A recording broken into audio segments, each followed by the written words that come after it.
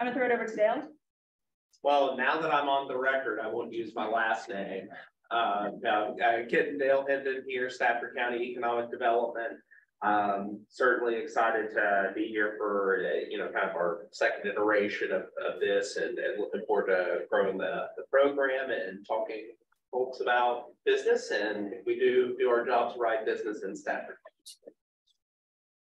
Hi, I'm Katrina Spees and I'm here um, to learn more about business. I'm starting a rehab veterinary clinic. Awesome, yeah. Folks online, Tom, do you want to kick us off? Sure. Good to meet everybody. I'm Tom Snyder. I founded RIoT. Uh, we're a nonprofit, so I don't know technically if you'd say we're a business owner because nonprofits don't have ownership, but I guess you could in some way say say that I am. Uh, but but one of the things that I'm sure Jen's going to talk about is that we spend a lot of time helping people that want to start their own businesses to you know figure out how to do that and how, how to grow them and and ultimately hopefully to create jobs. Uh, Richard?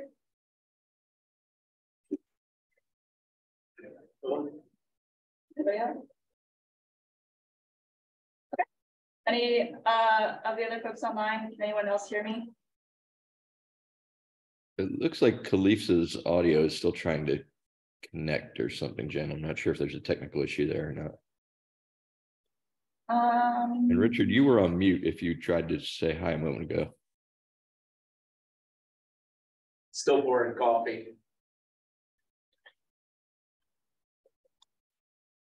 And for the folks online, you're also um, able to call in if you aren't able to um, hear us via uh, the audio through the laptops. Uh, Richard's mic, he's working on his mic. He just sent something in the chat. Okay, awesome. Well, we'll happily pause uh, when you guys are, are able to um, unmute yourself or connect via audio. Um, so don't hesitate to. Um, okay, you're good. You can hear us. So cool. Um, I'm gonna kick us off with just a little bit about um, RIoT. Um, me find the right screen to do that. There we go. That should be able to do it from here. There we go. Whoops, too many clicks. Okay. So um, RIoT, we're, uh, as Tom said, an economic development nonprofit that's focused on job creation in the technology sector broadly. Um, we really believe that technology is vital to all businesses in the 21st century. We're all integrating it in some way.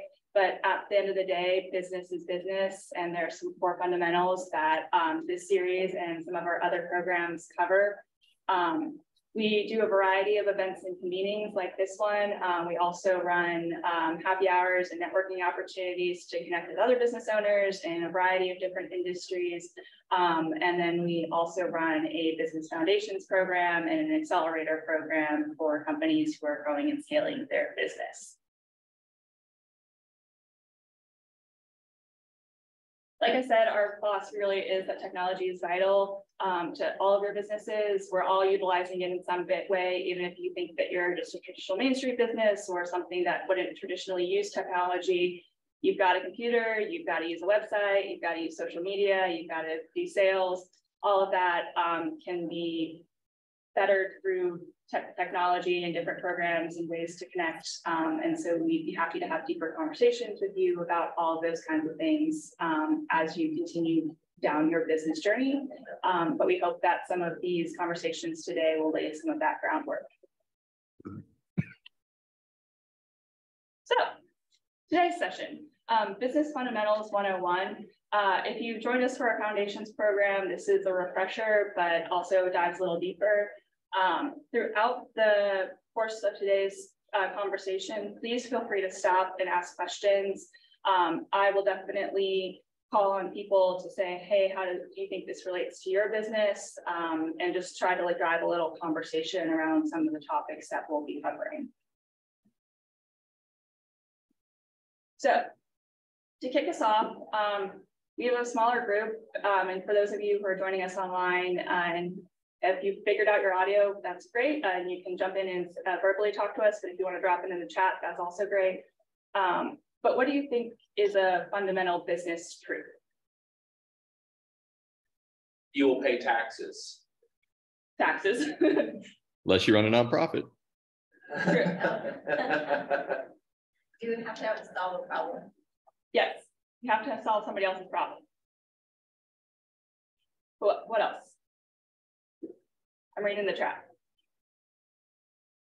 Richard, feel free to drop into the chat, um, and I can work on trying to get you to call in really quick.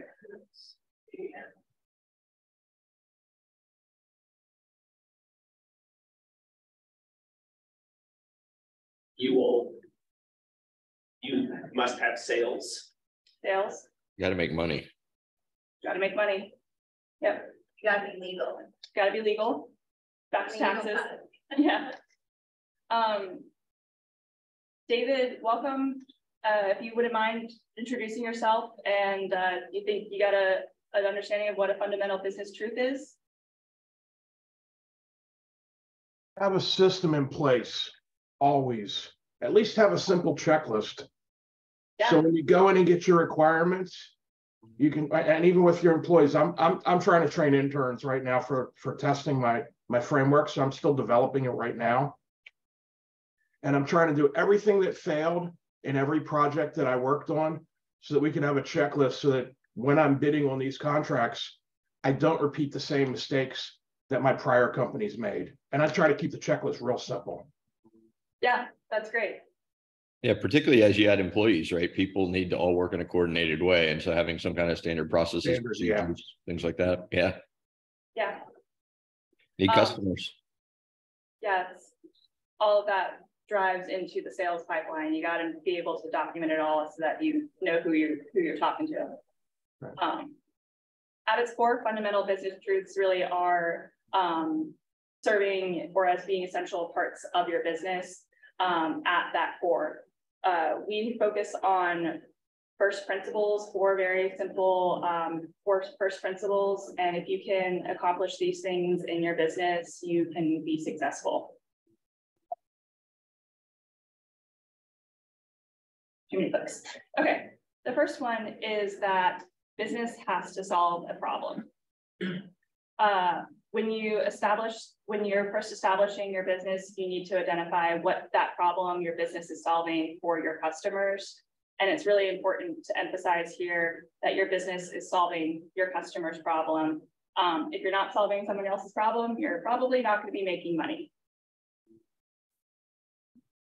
You have to determine overall your problem solution fit, AKA the evidence that you have done this, that you figured out what somebody else's problem is and that your solution is viable to solve that. Um, a lot of this is done through conversations with your customers or your potential customers. Um, and to David's point, documenting those things and doing it in a systematic way so that you can refer back to your notes and know where you can you started and where you've gone and what's the journey that got you there. Jen, if I could jump in with a question. Absolutely. Um, so I, I'm thinking through not wearing my Stafford County Economic Development hat for a minute. And I'm thinking about the businesses my wife and I own and because they are traditionally around hospitality, Mhm.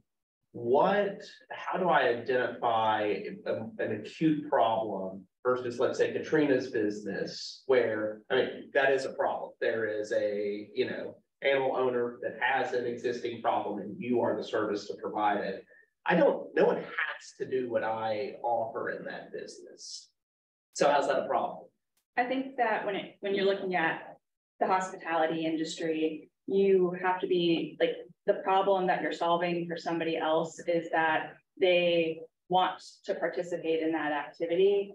Um, and if you aren't able to like find those customers or find any demand, you're not, you know, that's, you're not gonna get paid and therefore your business isn't going to be successful. So it's the wants So it's the want side of it. Okay. Um, and a little bit more because it's, you know, more on the, I'm using this, utilizing this as a service.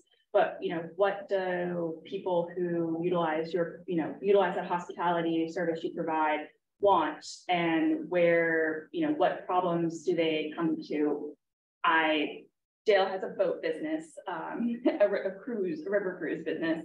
Um, and they're coming to you to say like, oh, I like have kids, I have, you know, elderly parents, I, you know, need this to be X amount of time. It needs to fit into my schedule. Those are all kinds of things that the problems around that that you have to talk to them about to figure out what's the right mode to provide. Okay, makes sense.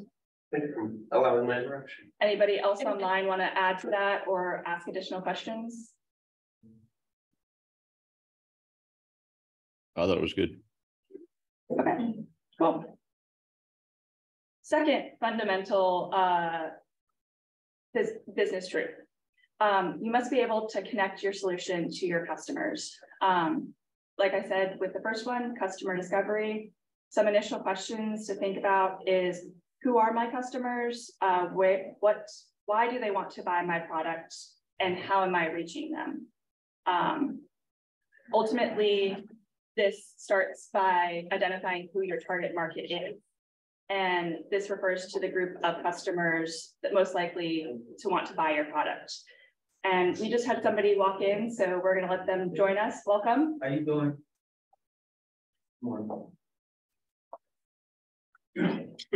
Uh, has has anyone, everyone heard of the definition target market? Sure. Yeah. I think a good example of like defining target markets is around shoes, selling shoes. We all wear shoes. Everyone wears shoes. Um, but if you're selling like a very specific type of running shoe, your target market has drastically decreased to only those people who are, you know, doing that elite kind of running. Uh, so who are those people? Where are those people? How are you reaching them? All of that good stuff. You need to also be able to define what makes you stand out to your competition, AKA your unique value proposition. Um, and that's a clear statement that explains the benefits of your product and how it solves your customers' problems and why it's different from the rest.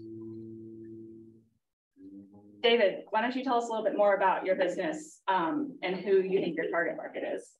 Um, actually, I do um government contracting and I usually do, uh, we'll call it dashboards. It's usually workforce reporting, uh, personnel, HR, budgets. And I'm also building a side product. So that's kind of why I'm here is for the side product. Because I'm, I've got some patents on some dashboards that I'm trying to incorporate my methodology into the implementation of the dashboards. But I do the service and the product. So I'm doing, I'm doing both. But right now I'm focusing on the product part. Would, would the customer of that product be, um, like organizations like ADP or other PEOs that are doing HR services? No, it's usually, it's usually a government agency. An agency directly. Okay, yep, Agency Directly. cool, very interesting. Yeah. Welcome. Do you want to introduce yourself and tell us a little bit about your business or idea? Um, how you doing? How you doing?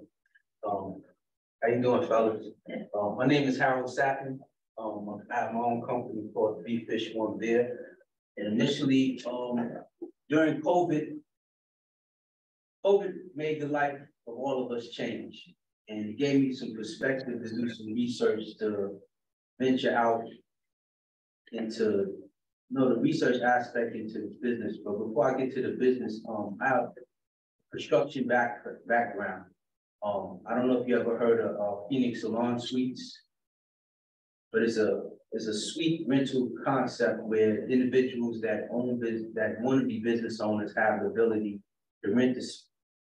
Rent the space, it's not really renting the space, but on agreement to utilize the space so they can have a business of their own without the overhead in itself. Um, I like to tell people, well, they consider me a partner. I should tell people I was really an overpriced worker. You know, I did really, really good for myself at the time. I have over fifty-two bills throughout the United States. So that's where I'm really, um, my focus was really on the construction. Um, the downside is when COVID came about, different ideas and different functions with the company, the group that I was with, they wanted to move to the West Coast. I lived in New York City. I lived in Washington DC. I lived in Miami. I also lived in San Diego, different times in my life. I live in Leesburg right now.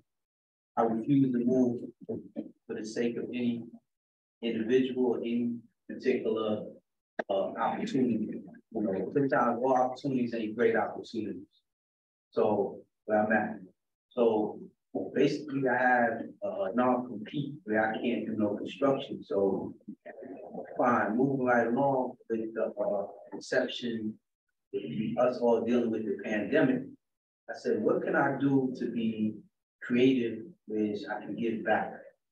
What can I do to help some of the current problems that we're with on a daily basis that I can contribute in? So I started thinking about food.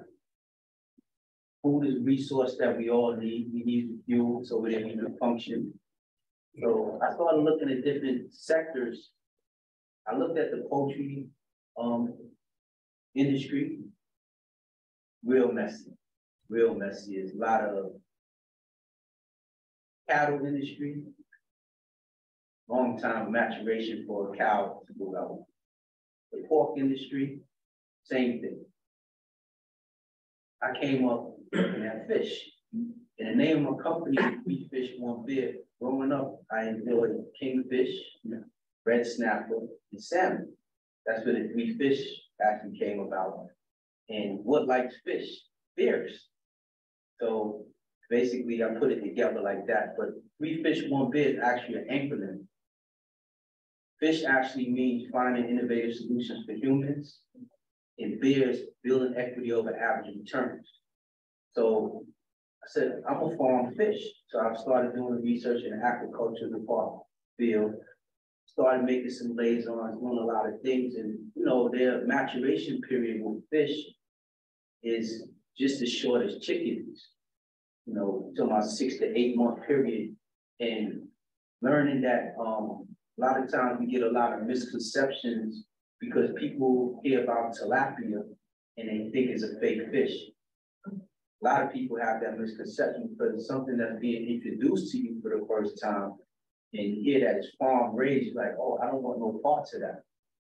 So as I'm doing my research and I'm seeing like, okay, this is a interesting place where I can actually make an impact and share, not only for the community, but on a world spectrum.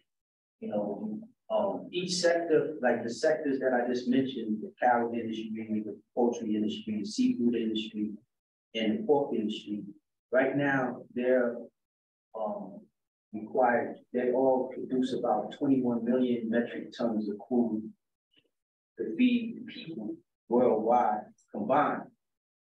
Based on the current population, it's about nine billion people and twenty thirty-five is projected to have ten billion people. Each one of those sectors is gonna be required to produce twenty-one million metric tons each. So I said, okay, has sustainability, has you know, you can make some money doing this thing. So know, I'm doing more research and I'm saying, okay, Howard, I'm so sorry. I hate to cut you off, but we can we table this conversation and uh, after to continue after our uh, chat today. okay, not a problem. Awesome. asked- I was, No, no, no. I know. I um I got the the concept of where you're where you're going with the business, and I would Right. love to dive deeper in. okay, Yeah. not a problem, Thank you. not a problem. Um, but so back to target markets and unique value proposition, as you connect to your customers, one of the things to also think about is how are you reaching them and marketing at a high level um, with those with those customers. Um, the first step in marketing is really figuring out what channels you need to use to reach your customers. Um, when you look at who your customers are and how they're currently interacting with you, um, each other, your competitors, so on, uh, you can find out like where they really are and how they're interacting. Um, a lot of us will interact with people via websites and newsletters and social media, um, as well as, you know, our competitors and just the general public. So thinking through Am I meeting people mainly in person? Am I meeting people mainly online? How are people figuring out who I am, what my business is? Are all things to kind of think about. Um, uh, at the end of the day, most of us will probably need a website. I would say ninety-nine percent of us will need a website. Um, in today's world, what do we do first when we hear of a new business? We Google them. Um, so having a good website uh, that's informative and um, can provide good information to your customers uh, at that first glance will ultimately set you up for success. And there's tons of website builders out there that can do it for, uh, that can help you do it yourself, or you can definitely hire an agency to do it um, as you continue down that path. Um, also, most of us will probably need to leverage social media in some way, shape, or form. Let's face it, we're all on social media. Everyone's on social media. Um, but you don't necessarily need to be on every platform to reach your customers. And we'll dive a little bit deeper into that. My goodness, there we go. Um, this is very not clicky where I need it to be. On the subject of social media, um, talking about uh, the different platforms, there are a ton of them, they're all over, um, but each really have different target demographics that they they tend to work with. Um, for us who are the older millennials, Facebook was popular with our parents and grandparents, and it is less popular with our uh, with the youth nowadays. Um, so if your target market is 14 to 18 year olds, Facebook might not be the best platform for you. Um, if your target market is older adults, Facebook, LinkedIn, where are they? Who are they talking with? Um, all of those kinds of things. Each platform also has different purposes and um, best use cases. Um, also, the amount of content you can post. You can only uh, do 200 character, 280 characters on Twitter, but you can write paragraphs on paragraphs on paragraphs on Facebook and LinkedIn and so on. YouTube is video, is mainly video content. You're not going to want to put a bunch of articles or anything on your YouTube page. So determining where your audience is, what content resonates with them, and then tailoring your content to that is important.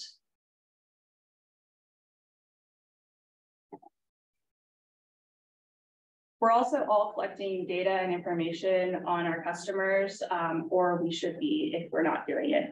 Um, one platform that's really useful to help you figure out some of that data behind your customers um, is Google Analytics. This is a service through Google that you can tie to your website uh, to figure out where your users are coming from, um, you know, figuring out the success of your marketing and your, your different campaigns, um, tracking your completions such as purchases or adding products to carts, so on and so forth.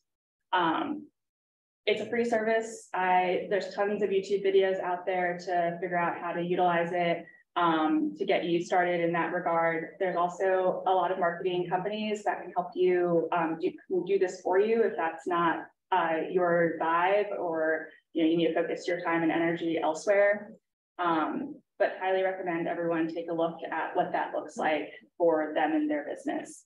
Um, also important to note here, just where your users are coming from. If you are primarily targeting folks in Virginia or North Carolina or the Eastern Seaboard and you're getting people from Madagascar constantly seeing your website, what are you doing? Like what's going on there? Why is that happening? Figuring out those kinds of things is important. Social media also has its own analytics. Um, each of the sites, you can go into your um, profile and turn on analytics tracking and figuring out where people are, how are they engaging with your posts? Are they seeing just like, you know, seeing the post, but not stopping? Are they scrolling past it? Are they clicking on the links? What are all those things? Um, those social media analytic tools can help determine that as well. Um, and then finally, also examining um, your sales a lot of folks um, use something like Square, a similar um, payment processing system. And those websites, those services also have analytics um, built in to be able to help you track, you know, at this event, I sold X number of products, but didn't sell, you know, anything of Y. Well, I'm going to something very similar next week. I need to make sure I double up my stock on the product X and maybe bring less of product Y um, to try to gauge, you know, what's selling, what's not selling, stuff like that.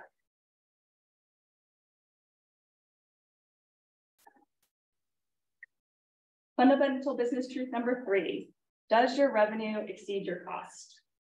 Um, you've got to look at how large your market actually is, um, AKA how many customers you expect to have, and then compare that to your projected costs um, in both in to produce your product um, as well, both fixed and variable, um, and then cost to have your company. Um, versus what you're actually projecting your cost to your customers will be.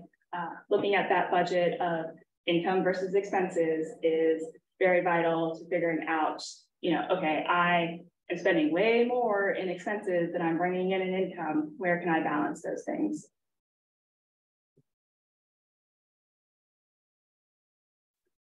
And finally, follows legal and regulatory. Um, bottom line, your business has to be legal. You got to pay your taxes. Uh, you got to think about, do I need business insurance? Do I need some sort of specialty insurance related to, to my specific business or industry or whatever that looks like? Do I need specific licenses? Do I need to, you know, be a licensed vet to practice? Um, what kind of, you know, business licenses do I need? Who do I need to report to? All of those sorts of things. Um, bottom line, it's not going to work if it's not legal. So how do you, how do you do that?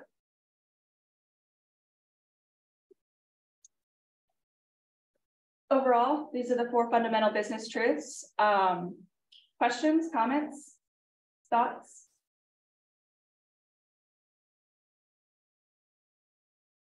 How do you view the idea of a, a loss leader into revenue and, and cost models, right? Like if we're talking about a segment of your business, if um, Like Costco and rotisserie chicken. Yeah, yeah, yeah, exactly. And I'm just, I mean, I understand in the macro, right?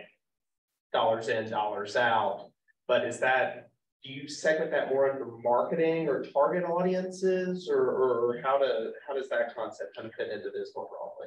So for just level setting with everyone, um, everyone knows Costco's rotisserie chicken is five dollars, right? It's always been five dollars, and they've said time and time again, they're not gonna raise the prices. Um, but who goes into Costco and only spends five dollars? You never do, and it's always in the back of the store. You have to walk through the whole store to get there. Um, that is ultimately a loss for Costco. You know, it's the cost of the chicken is not five dollars to them, and so they're losing money on it. But they're making money on you going into the store and seeing the rest of their products. And ultimately, I never leave Costco without spending more than two hundred dollars.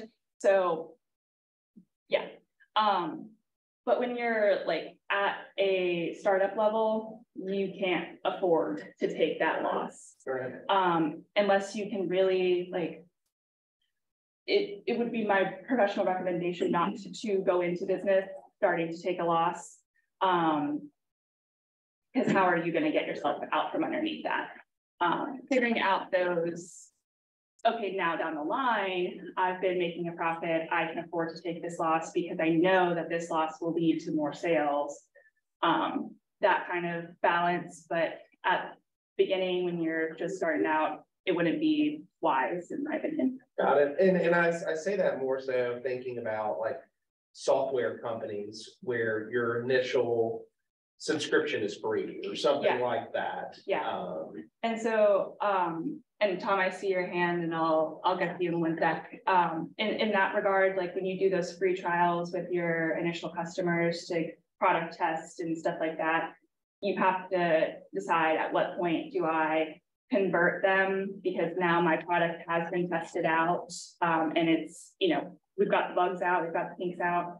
Uh, or do I just say, okay, this, we're, we're done, we're moving into like paid only from now on and setting that up in those early conversations with your customers to say like, hey, I'm giving you this for free because I know that there's gonna be some kinks that need to be worked out. But when we get to like full market, it's time. Yeah. So, Tom, So it, it's a great question. I, I'll offer a little bit of a different uh, thought as well that there's kind of this concept of loss leaders and and you know freemium models and other things where yeah you you might not be fully covering the cost of what you're selling until it gets on the market. Jen talked about that nicely.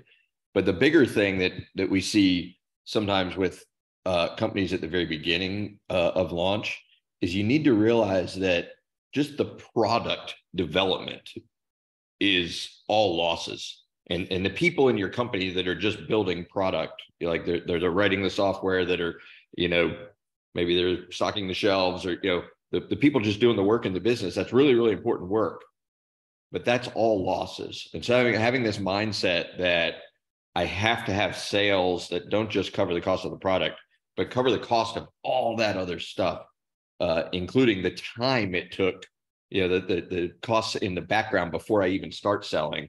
Uh, that's really important. And, and it's why we always encourage folks, like David, you talked a little bit about what you're building, like even before it's done, it's good to start selling because the sales cycle takes a while before somebody maybe buys an enterprise tool. Like start selling it even before you're finished. So by the time you're finished, maybe you're getting that revenue revenue faster in time to cover those earlier losses. That makes sense. Yeah. Yes. Other thoughts, questions? Well, just to summarizing back the, the truths, uh, first, what problem is your business solving? Um, everybody at the foundation of a business has to solve somebody else's problem. If you're just solving your problem and trying to push it onto the market, probably isn't gonna work. Uh, so who in the market's problem are you solving? Where do you fit into that? And is that really large enough going into, are you able to connect your solutions to your customers? Are you being able to reach those customers? How large are they? Um, where are they? Why do they want to buy your product? Kind of what, when, where, why, and how.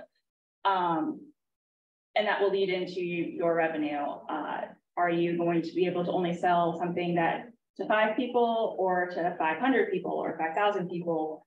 Uh, at what point do you need to balance your costs and your revenues, all those kinds of things? And bottom line, has to be legal. Got to pay your taxes, got to have your insurance, got to uh, have your licenses, all those good things. All of that to establish a legal entity.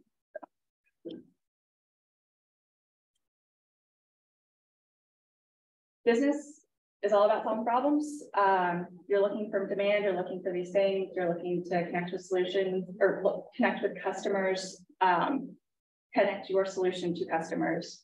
And technology is a great way to use that. You are one piece in a very large puzzle of the world. Um, and we're happy to help uh, continue on that journey. Uh, just a couple of quick things of upcoming and next steps.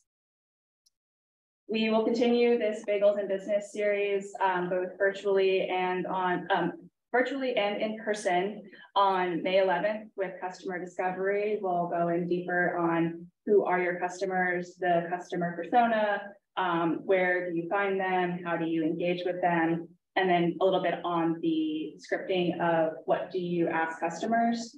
Um, Customer discovery is a never ending journey. Um, no matter what stage of your business you are in, you need to be talking to your customers about what, what their problems are, how you are connecting to them, um, what changes in your business you need to make, stuff like that. Um, and then real quick.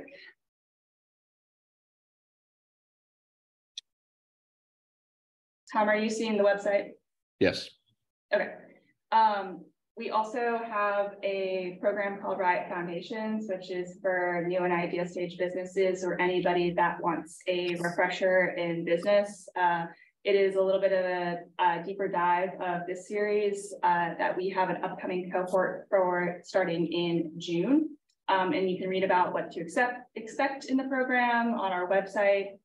Um, it is about three hours per week. We meet Mondays um, from 5.30 to 7 here um, or online for an hour and a half class session. And then um, I meet with you for a 30 minute one-on-one outside of class. Uh, and then we have like small little assignments to do in between class and the one-on-ones so we can talk about it. Um, Katrina, do you want to talk about the program? Um, I thought it was really valuable. I just finished it. So it really helped me to kind of focus on my startup and the things I needed to develop. I thought it was helpful, especially the one-on-ones. Yeah. Thank you. Um, so we do, uh, this is just a registration. We have a registration deadline of May 26th, the latest, um, and then I'll schedule an initial call with you to dive deeper into what your needs are um, and what you want to get out of the program. And then the session dates are listed online and you can register on our website and I will make sure to send everyone here today this link um, as well as information for the next session. Cool. Questions, comments, concerns? Okay, So uh, folks online, uh, I have your emails uh, via registering, but I will, so I'll send you a follow-up. If there's any um, additional questions you want to spend some time with me with, we can set up a meeting. Folks in the room, I'm happy to continue talking right now. So, wonderful. Well, thank you all for joining us today. Really appreciate it. Thanks, Jen. Thanks. Bye. I wonder if we could get like a picture.